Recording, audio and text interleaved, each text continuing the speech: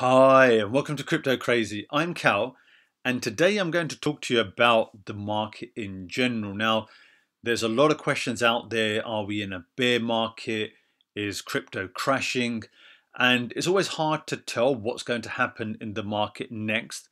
But I just want to share with you my experience of what's happened in the past, what I think is going on now, and certainly what some other YouTubers are saying out there, the predictions that they're giving, and how I fell into this sort of trap in the last market run as well. In in 2018, when there was a bear market and the prices going were going down, there were a lot of YouTubers out there who do have quite a large following who were sensationalizing and saying, no, it's going to go back up, it's going to go back up, you should buy. So if we just have a look at the market collectively, and if we see the market cap here on CoinMarketCap website, it's at it's less than what it was at the all-time high by 50%. So at around about 2.6 trillion, it's now below 1.3 trillion. So more than 50% has gone. And as we can see, some of the big coins in a week have lost a considerable amount. Binance Coin nearly 30%, Bitcoin more than 20, Ethereum nearly 30 percent there as well. So significant amounts lost. Cardano 30%. And so th- there, there are a lot of people out there who are saying, well, we're not in a bear market. It's only a bear like event. And I think one thing that needs to be considered, and, and I'm just going to show you last bull run. So at the beginning of 2018, when we hit over 800 billion in terms of market cap, we saw the price begin to go down. Now, when it had even gone down to February, it had gone down by more than 50%, 60% or so. And there were a lot of individuals out there who were saying, no, no, this is not a bear market. This is no, just a slight correction, which is fine. It can, it can potentially happen. And it needs to be looked at what the period of time is. And before I continue here, I just want to bring your attention to this. Yes, it's gone down, but the market has tried to recover a few times, and since then it's gone further down. Now, that doesn't mean that it couldn't go up, and I'm going to talk about the volume here as well, and it moving sideways and the duration. So do do listen to that. But going back to 2018, when it went down and started to pick back up again, there were a lot of there were a lot of YouTubers who were saying, "See, we told you so. Buy, buy more, buy big." You know, now now's a discount. Now, I think the way to always look at it and way to always approach it is, if you are always buying it on a regular basis, you will get a a low average. So if you went all in up here, where there was a lot of you know FOMOing in, then that is not great because when it goes down, you're not going to have any more money to invest in. Whereas if you only put in a small amount, you can you can put it in when it's going down. And like I always say, when it's going up, you can always take small profits as well. Because if it goes down, then you took it at a good time. If it continues to go up, you have an opportunity to take more profits at a higher amount. So you can't time the top, you can't time the bottom. No one can. No one can know what's going to be happening next as well. But you can implement sensible strategies and have a look at the potential risk and the likelihood of something happening. And that's what makes for good crypto buying and investing. So this isn't uh, investment advice or financial advice, but it's what I do. So I'm just sharing in terms of the way that I do it and the way that I see it as well. So there are a lot of YouTubers out there who are again saying, well, you know, this is just a slight correction. We're going to be going up. We're going to be. It makes for great entertainment. It makes for, makes for great sensationalization of the prices in the crypto market, but what uh, is the most likely to happen? And one thing to always look at is the volume too. And from the highs and when the volume starts to go down, and it can't pick back up, then that is an indicator that there isn't that appetite for people to start buying and the price to be pushing up because there is as much selling as well. So just going back to what I was talking about here, and, and it's gone down a significant amount, but what we've seen here, it's been six, seven weeks since the all-time high, and we're less than 50% from, from that now in terms of the value.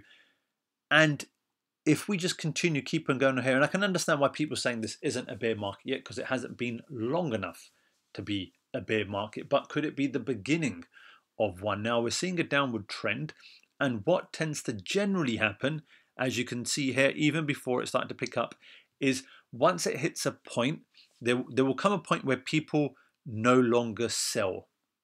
And that's pretty much the bottom. So no matter what is happening, no matter what news is coming out, and that those are the people who are in it for such the long term that they will not sell what they have. And in that instance, that is pretty much the bottom of any market.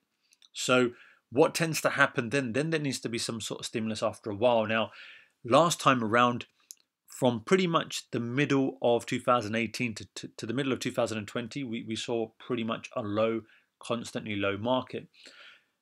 Do I think it's going to be that low for that long this time around? I think not. What we're seeing is crypto being more adopted, it's becoming a bit more stable as well. Like we see here, we saw the the market pretty much in less than a year there, in probably about 10 to 11 months, 10x. So we can see the market cap there is 260 billion or so, and for it to go to 2.6 trillion, that is 10x in as a whole market in the space of less than a year. So we're, we're, we're seeing that there is more money being involved in it, there is more adoption, there are more startups that are adopting blockchain technology, even in Silicon Valley. This is very, very different from the last bull run.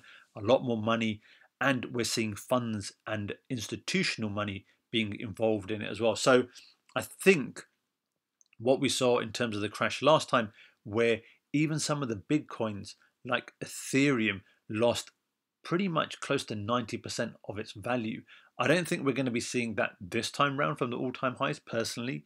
I also don't think we're going to see this long duration of the price unable to pick back up again, which was around about two years. Uh, and f- pretty much three years until we saw another all time high.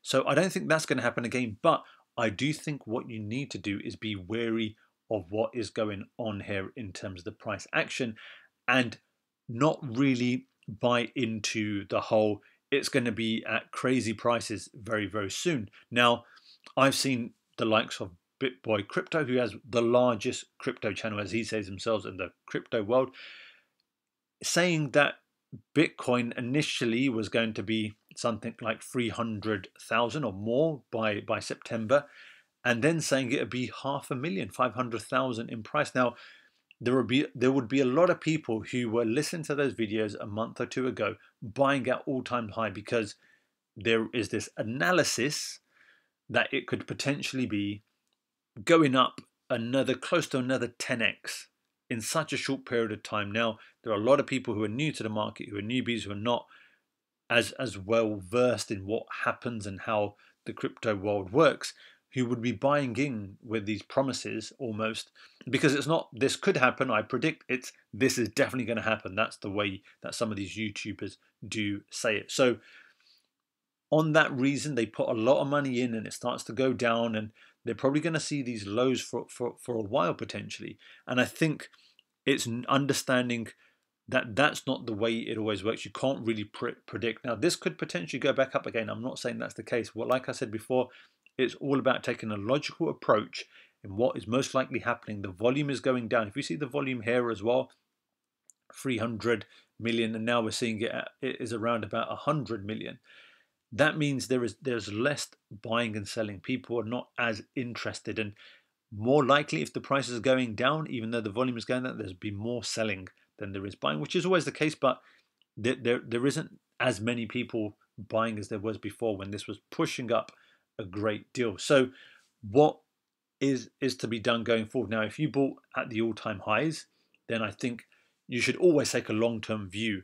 And I personally would wait out to see what happens in the next bull run, whenever that may be. You know, long investment should be for long term anyway, uh, unless you're doing something like day trading, which you're looking at very, very short periods of time and it shouldn't really matter if you're in a bull market or a bear market because you're looking for those very very small gains on a daily basis. If you are interested now i i personally like to buy in even when the market is going down because it's a small amount and i'm averaging down. Because i don't know tomorrow if it does shoot up i'll be glad that i bought. If it does continue to go down i get more opportunities to be able to buy and average my price down. And, and again, I'll be holding it for the long term to see what, what's going to happen. But please don't do take with a pinch of salt what some of these YouTubers do say, even when they're making these crazy predictions. Also, do bear in mind when when there are individuals out there and, and articles as well who are saying that we are not in a bear market.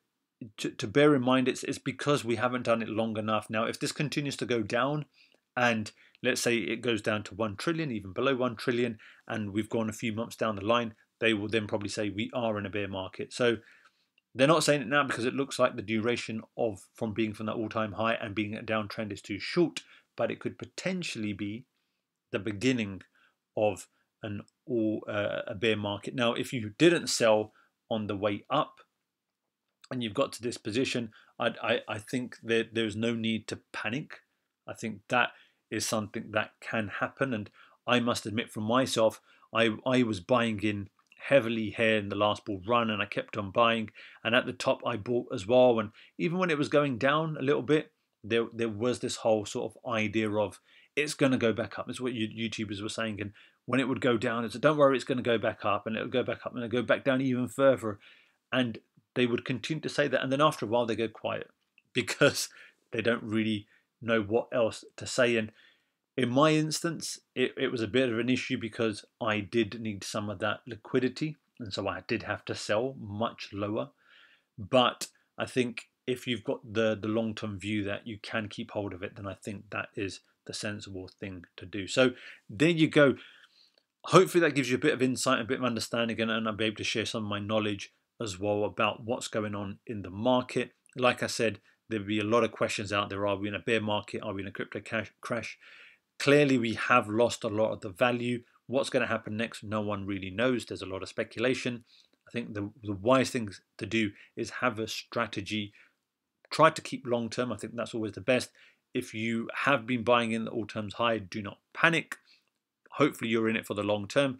If you are trying to get in now, then like um, myself, I, I do like to, to, to get in, even if it's going down. I do not try to time the top or the bottom that's the most sensible way to do it. You could always miss opportunities if you're trying to time the market. So there you go. That's my insight. Hopefully you found that useful, informative. If you have, please do give me a like. Please do consider subscribing. I usually bring out videos about new projects, anything that I think will bring value, but I think it's also good to uh, share these type of uh, videos as well with knowledge and experience and especially when there can be a little bit of a panic or a bit of a wondering of what could potentially be happening in the crypto market, especially if you're new to it as well. So if you do like the sound of that, do consider subscribing. But there you go. I'm Cal.